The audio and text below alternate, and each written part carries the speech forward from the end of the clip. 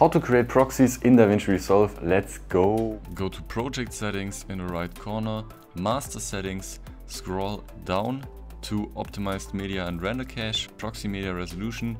Now you choose the resolution of your proxies.